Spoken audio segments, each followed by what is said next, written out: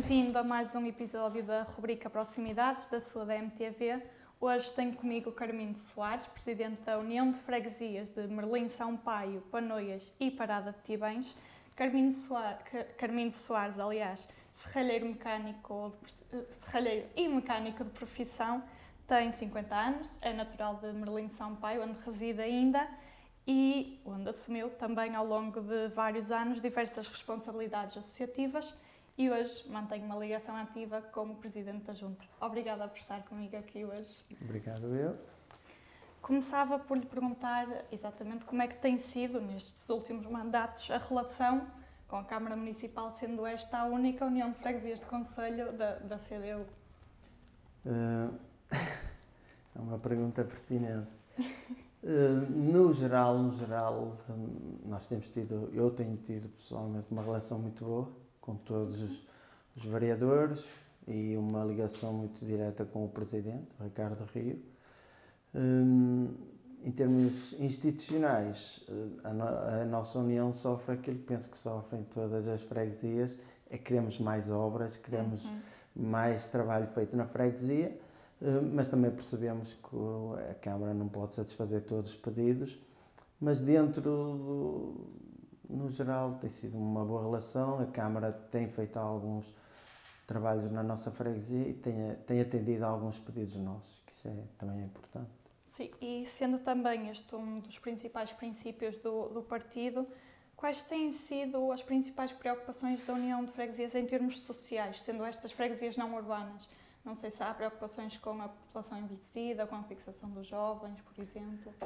Nós temos tido alguns problemas hum, com a população envelhecida, o abandono, e, e, isso vai levar a outra questão que é a outra nossa preocupação, que é a fixação dos jovens na freguesia, que comatava logo dois problemas, que é a fixação e o aumento da população na freguesia e também serviam de vigilância aos mais antigos, aos pais, avós.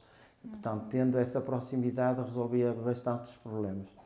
Temos estado uh, numa discussão, na, e porque estamos a discutir o PDM, e nós temos pedido uma abertura do município a poder haver mais construção na freguesia nós temos jovens na freguesia, ou porque os pais ou avós têm terrenos, não. mas não lhes é possibilitado construir, então vão procurar fora, o que cria-nos aqui logo duas situações, que é o abandono desses jovens da freguesia, portanto saem da freguesia, e também aos idosos ficam mais sós, porque se tivesse os filhos ou os netos juntos, estariam mais bem acompanhados. Sim, eu ia pegar exatamente por aí em relação a esta população mais velha? Sente que há associações suficientes para dar este apoio ou sente-se alguma carência neste? Nós temos tido carências. Nós temos um, um lar, o, de Roães, mas que não consegue dar resposta às necessidades um, existentes atualmente. Uhum. E então tem sido mesmo as famílias, às vezes também temos, já temos ajudado algumas famílias, mas nessa questão social temos tido algumas carências e, e algumas dificuldades até em, em, resolver ou ajudar a resolver algumas situações. Sim. Uh, já na parte associativa, que peso tem tido durante este mandato e estes últimos anos o apoio às associações? A parte associativa eu acho que é a parte, como é que dizer, mais viva da freguesia.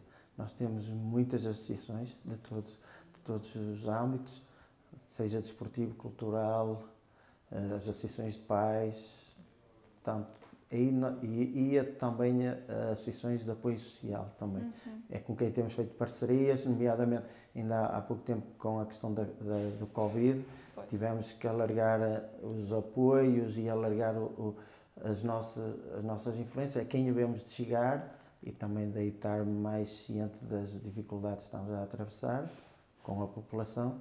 Mas eh, nós temos muitas associações, muitas associações, e nós, felizmente, temos uma relação de muita proximidade com as coletividades e também fazemos tipo, os acordos, quando precisamos deles, eles atuam ou ajudam-nos, quando eles precisam, também nós estamos lá para os ajudar e ajudá-los a crescer.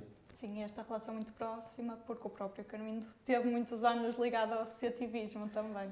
Estive e estou, apesar de Presidente da Junta, portanto eu continuo a fazer parte de uma coletividade que é o Movimento de Juventude de Merlim, que é uma coletividade muito antiga aqui de Merlim Sampaio. Neste momento está mais vocacionado para o atletismo, uhum. mas estou ligado a, a, quase todas as associações, porque sempre gostei do movimento associativo. Fui fundador da Associação de Pais de Merlim Sampaio, portanto, e continuamos a, a ter uma relação muito próxima e sei o trabalho que dá em, em gerir ou, ou, manter uma, uma coletividade em, em, atividade, daí também ter sempre um, um carinho especial e, e tentamos sempre, dentro do possível, ajudar e apoiar as coletividades.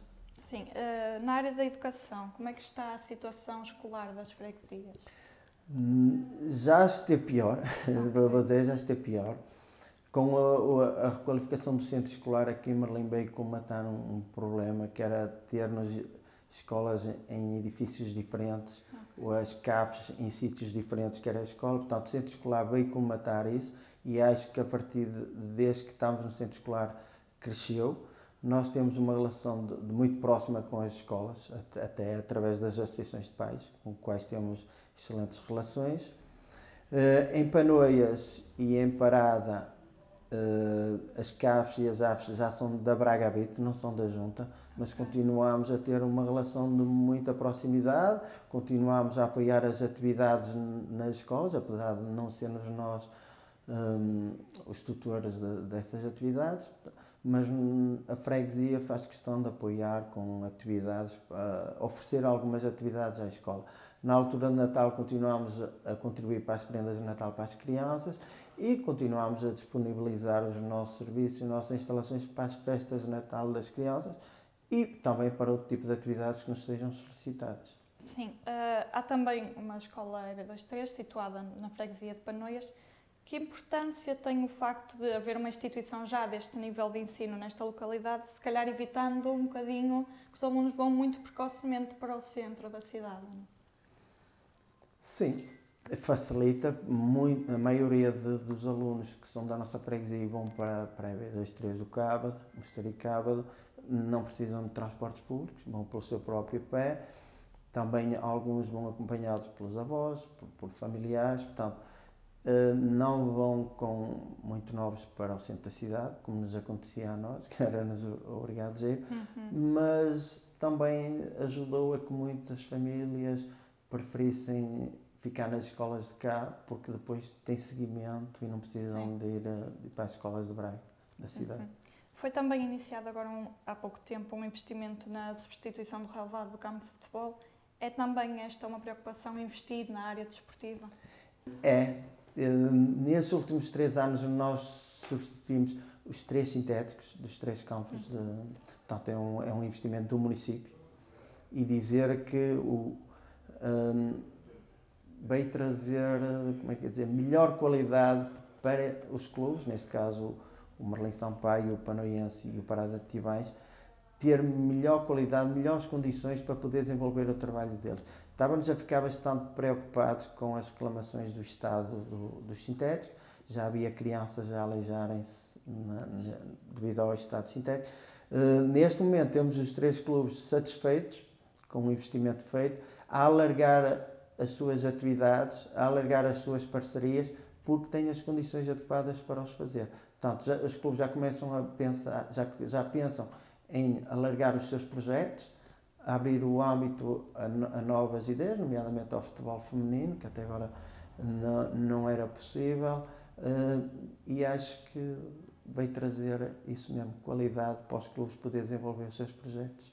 Sim, falava agora na questão que está a ocorrer da descentralização de competências do município para as freguesias. Que áreas é que entende em que as juntas podem chegar mais rapidamente do que a Câmara? Que competências é que há necessidade mesmo de serem descentralizadas? Essas competências elas já, já estão generalizadas, de, nomeadamente os espaços verdes. Acho que foi uma, foi uma das melhorias a olhos vistos que quando eu entrei para a Junta ainda era um município que tratava dos espaços verdes, nós tínhamos de estar constantemente a alertar o município para o estado dos jardins da freguesia de, de, e desde que o município delegou essas e outras, outras competências às freguesias, nós conseguimos ter uma proteção maior, estamos no local, a proximidade, os moradores vêm à junta quando faz falta. Felizmente, ultimamente não tem, não tem feito, mas, mas a, a realidade é que também não conseguimos estar em todo lado ao mesmo tempo. E vêm a alertar e nós sabemos que nos compete a nós, vamos logo fazer. Quando antigamente tínhamos que avisar o município, depois o município tinha que agendar, portanto demoraria mais muito mais tempo. E o facto da freguesia ser uma instituição de proximidade à população também facilita todas as tarefas que forem delegadas na, na freguesia, porque estamos permanentemente em contato com a população, com os espaços da freguesia e, e nós próprios conseguimos uh, facilmente identificar as necessidades. Sim, tem havido essa coragem de ambas as partes de optar por esta descentralização. Acho que sim. O, o, há, há competências que o município ainda não descentralizou, mas eu entendo, uhum. entendo, porque eh, como nós estamos a falar, de, quando nos atribui competências, nós queremos que também venham as respectivas verbas para nós podermos executá-las e o município também recebe competência e também está no seu direito de querer receber as verbas para as executar. Portanto, mas acho que a delegação, a transferência das competências para as freguesias foi uma melhoria substancial para as populações. Sim. Uh, em termos de equipamentos, temos aqui a Praia Fluvial de Merlim Sampaio, que é uma das principais do, do Conselho, que conquistou até a bandeira azul este ano. Que carga tem este equipamento durante o ano para a União de Freguesias? É, tem, tem muito simbolismo, primeiro, porque é, é, tornou-se um espaço ícone para a freguesia.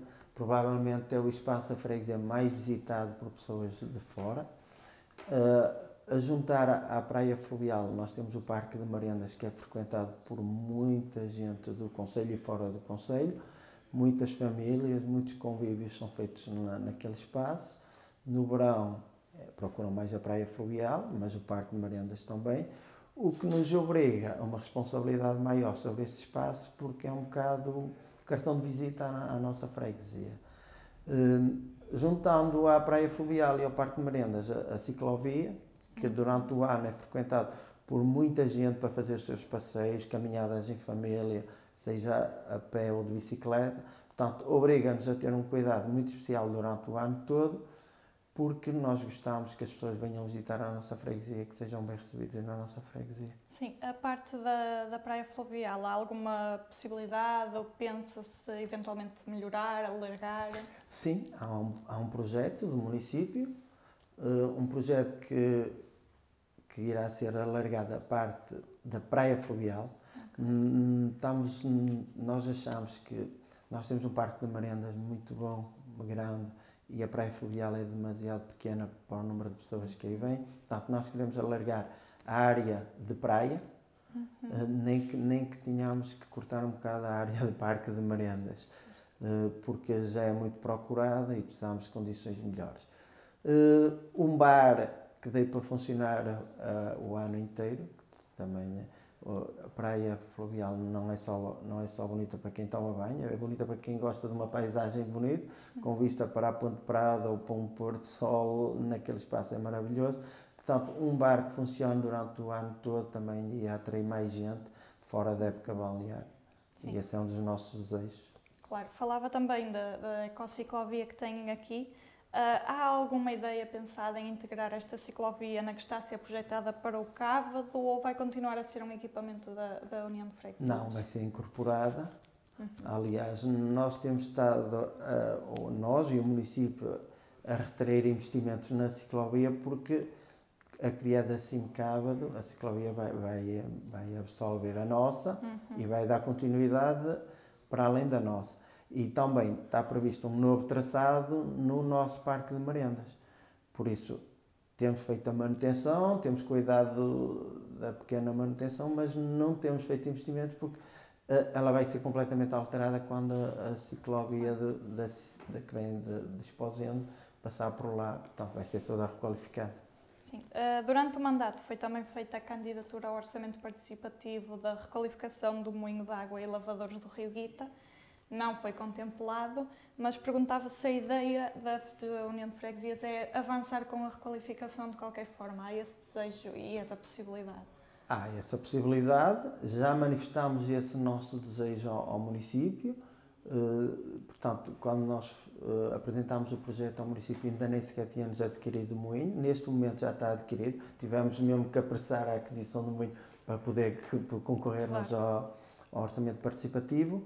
O, o, e a nossa ideia é precisamente isso, é requalificar aquele espaço. Nós, eu penso que dentro de poucos anos, já devia estar, mas dentro de poucos anos, aquele rio irá, irá, irá, irá correr água limpa, que é o que nós desejamos, e nós queremos fazer um arranjo naquele espaço e recuperar o moinho, hum, porque a ideia neste momento para aquele espaço será tipo um, um museu das profissões antigas das freguesias ou do género. Nós já temos pessoas que nos dizem que nos fornecem ferramentas antigas, que trabalhavam a terra, ou ferreiros, ou carpinteiros, e nós tentar fazer ali, uh, organizar um espaço que seja agradável lá frequentar, tenha um parque de merendas projetado para lá para a beira e fazer esse tal museu das profissões Sim. nesse moinho. Esse, esse enraizamento à história e, à, e ao território também é importante para fixar a população aqui é para fixar a população, também para não esquecer aquilo que foi o passado de cada uma das freguesias. Eh, nós temos o dever, se não for mais nada moral, de nunca esquecer aquilo que foi o passado das nossas terras, das nossas gentes, e se calhar isso também seria uma homenagem a, a todas aquelas pessoas que ajudaram e contribuíram para o desenvolvimento e crescimento das nossas freguesias. Outro processo que está a decorrer também na, na cidade é a desagregação das freguesias. Já foi iniciado o processo, vai ser iniciado o processo nesta União de Freguesias? Já foi iniciado. Nós iniciámos e fizemos tudo dentro dos prazos legais uh, e decidimos avançar porque, porque fomos desde o início contra a agregação, principalmente como ela foi feita. O processo todo foi mal gerido as freguesias foram prejudicadas, não foram ouvidas, não foram consultadas. Hum, tanto o processo nasceu mal. E por nós, desde a primeira hora que nos manifestamos contra esta agregação, não tem nada a ver contra as pessoas, nem contra ninguém, mas achamos, e isso foi bem discutido numa Assembleia de Freguesia, principalmente, um, com um ponto único para discutir a, a, a possível desagregação das freguesias, e o que ficou lá bem patente é que, para além de cada freguesia perder um bocado aquilo que era a sua cultura, as suas tradições, aquilo que era a sua individualidade como freguesia, hum, também trouxe um, um, afastamento do poder à, à, população. Nós estamos a falar de três ex-freguesias que eram acompanhadas, cada uma delas por um executivo de três pessoas e que agora que é as três freguesias é, é acompanhada por um executivo de três. Portanto, passou de nove pessoas a acompanhar este território a três. Portanto, acho que houve um ligeiro um certo afastamento de, do poder político à população, mas também houve um afastamento da população à, à, às, freguesia, à, às juntas de freguesia, porque hum, há muitas pessoas que não se revêem na União e estão no direito delas aceitam, mas não, não acham que foi. Acham como a maioria acham que foi, foi mal feita a união. Sim, mas uh, também não, será, não serão prejudicadas agora de forma nenhuma, já estando agregadas, havendo a desagregação, têm as três uh, capacidade para Tem. voltarem? Aliás, nós quando elaborámos o processo, eh, cada uma das freguesias individualmente tinha que obedecer a, e, e a determinados critérios. No nosso caso, infelizmente, quer uma de, todas as três reúnem os critérios todos para poder desagregar. Por isso é que achamos que vamos ser contemplados e cada uma das freguesias individualmente vai recuperar tudo aquilo que era antes da União, vai ter o seu património, a sua história, a sua cultura, as suas coletividades, nenhuma delas vai sair prejudicada. Ok, para, mesmo para concluir, tenho que fazer uma questão, estando no último mandato, Sendo esta a única freguesia, a União de Freguesias do Conselho do CDU, da CDU, e estando no último mandato, lá está, está a ser de alguma forma já pensada uma forma de sucessão no partido ou não está a ser pensado isso? A, sucessão é um problema para qualquer, qualquer junta, qualquer partido ou qualquer Câmara. É sempre esse problema. E para nós ainda, ainda, ainda mais complicado se torna. Nós estamos a trabalhar na sucessão, há, há pessoas capazes e habilitadas para, para exercer. Honestamente, gostaria que fosse uma pessoa que desse continuidade ao trabalho que estamos a, a ter. Hum, mas eh, isso depois a população é que irá dizer, eh, por isso é que elas existem, as eleições, para fazer o julgamento ao fim de cada mandato. Portanto, eu já fui julgado três vezes, portanto, e, porque as pessoas, se calhar, porque gostaram do trabalho que estávamos a fazer, é porque votaram em nós. Mas estou convicto que, mesmo eu saindo, irei estar sempre atento a quem ficar e, e apoiar quem, quem for o meu sucessor seja de que partido for, seja, seja a pessoa que for, já sabe, pode contar com o meu apoio para, para ajudar no que for preciso. Obrigada. Obrigado, eu. Se gostou deste conteúdo, pode continuar a acompanhar-nos através das nossas redes sociais ou então no nosso site em diariodomingo.pt. Obrigada, Obrigada por estar desse lado. lado.